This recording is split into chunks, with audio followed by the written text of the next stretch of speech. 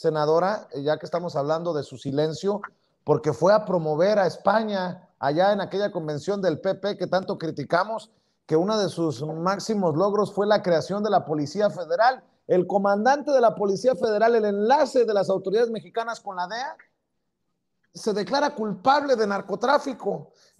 Hablaba de controles de confianza, Felipe Calderón, y hasta Jorge Armando Rocha creo que preguntaba, ¿los controles se hicieron antes o después de que trabajaran con los narcos? Porque pues está muy fuerte eh, eh, esto y, yo no, no dudo que Felipe Calderón quiera pasar a la historia como un, perdón, eh, senadora, un imbécil que no escuchó, que no vio, que no se enteró, a hacer, a meter la pata y a irse con Genaro García Luna o con Cárdenas Palomino al bote, ¿no? O con Reyes Arzate.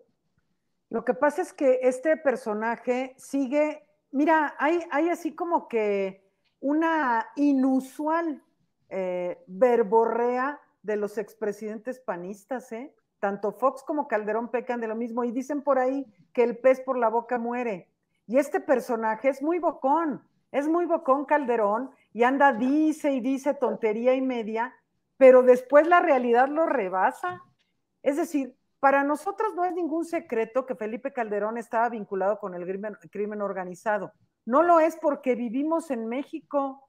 Nosotros vivimos en México y sabemos qué pasó del 2006 al 2012, cómo los niveles de violencia se, bueno, quedaron por encima de cualquier límite, cómo fue una cantidad increíble de muertos, daños colaterales, que él dijo así, de desaparecidos, de como ningún cártel de la droga, ninguno, ninguno, ninguno vino a menos, al contrario, florecieron los cárteles de la droga en el sexenio de Calderón más que ningún otro. Entonces, para todas y todos nosotros resulta obvio que está vinculado. Y bueno, la realidad lo va rebasando. Ahí cayó García Luna, ahora este señor, este Reyes Arzate. Bueno, entonces ya nada más falta que ahora que vaya a España lo agarren por ahí en un avión este, y se lo lleven también detenido, no sé, alguna cuestión que hace el ridículo realmente, pero están los del PAN en un ridículo constante, es una tras otra. Yo no sé si no se ven. Hay eh, lo que yo veo ahora con Julen Rementería y con Kenia y con Lili Telles y todos esos, les va muy mal en las redes la gente tiene, han reforzado la opinión negativa en su contra y vuelven a la misma. Ahora ya llegar otra vez a, la, ahora sí que al refrito de los médicos cubanos, caray, quiere decir que están muy desesperados y no tienen parque, no tienen argumentos, no tienen con qué.